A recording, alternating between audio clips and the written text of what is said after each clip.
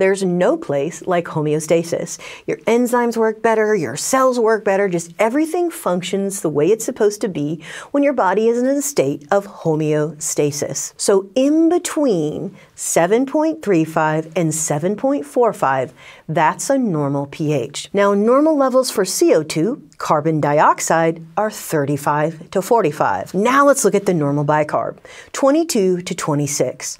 So, before we really get rolling, I want to make sure that you've written down those three values the normal pH, the normal carbon dioxide, and the normal bicarb. Remember, you got your hemoglobin carrying CO2 back up to the lungs so you can expel it. It can pick up more oxygen and deliver it to the tissues. So, carbon dioxide is controlled by the lungs.